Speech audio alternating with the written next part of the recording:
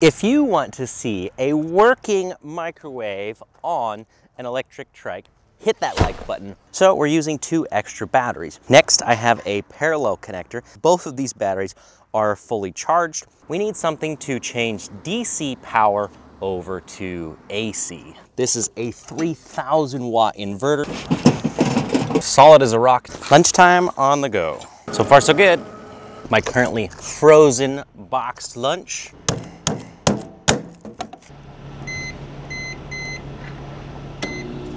Two minutes.